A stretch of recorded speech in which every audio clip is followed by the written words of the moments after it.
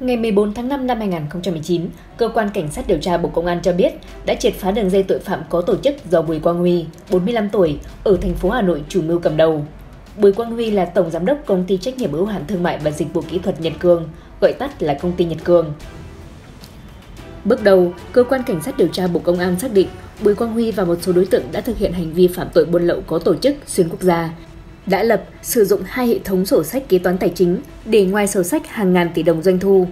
Ngày 14 tháng 5 năm 2019, Cơ quan Cảnh sát điều tra Bộ Công an đã khởi tố vụ án, đồng thời ra quyết định khởi tố bị can, lệnh bắt tạm giam, lệnh khám xét đối với Bùi Quang Huy cùng 8 đồng phạm để điều tra về hành vi buôn lậu và vi phạm quy định về kế toán gây hậu quả nghiêm trọng.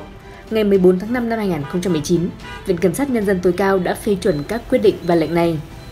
Cùng ngày, cơ quan cảnh sát điều tra Bộ Công an đã thi hành lệnh bắt bị can để tạm giam, khám xét đối với các bị can theo đúng quy định của pháp luật. Như truyền hình báo Thanh niên đã đưa tin, ngày 9 tháng 5 năm 2019,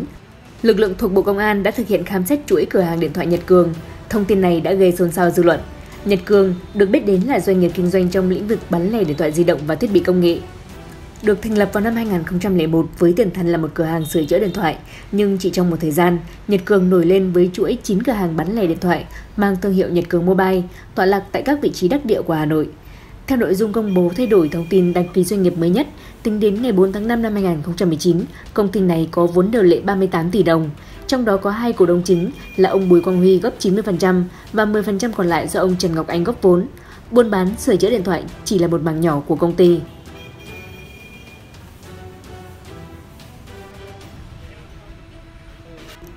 Còn theo thông tin từ Tổng cục Thuế, Bùi Quang Huy cũng là người đại diện pháp luật của công ty trách nhiệm hữu hạn giải pháp phần mềm Nhật Cường hay còn gọi là Nhật Cường Software. Được thành lập và hoạt động chính thức từ năm 2016, nhưng Nhật Cường Software đã trúng thầu nhiều dự án lớn về công nghệ của Hà Nội như cơ sở dữ liệu dân cư, phần mềm lưu trú trực tuyến, phần mềm hộ chiếu online, đặc biệt là giải pháp dịch vụ công trực tuyến liên thông ba cấp – Nhật Cường còn cung cấp những phần mềm cực kỳ quan trọng liên quan đến bảo mật, an ninh của lực lượng công an Hà Nội và rất nhiều dự án khác. Nhật Cường được xem là ông trùm của các dự án công trực tuyến tại Hà Nội. Tuy nhiên, các phần mềm này khi triển khai từng dính nhiều lỗi. Đáng nói hơn, một số lỗi lặp đi lặp lại, trong khi phía cung cấp phần mềm thường rất chậm khắc phục.